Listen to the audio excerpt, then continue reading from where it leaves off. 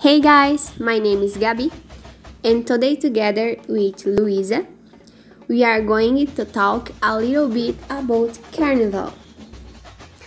Brazil's Carnival is the country's largest popular festival. The party takes place during the four days, preceding Ash Wednesday. A national festival celebrated in different regions of the country with attracting millions of people from residents to tourists. Cities like Rio de Janeiro, São Paulo, Manaus, and Recife attract many people to the celebration. Costumes, props, and the makeup are used during the period. Blocks take to the street for celebrations.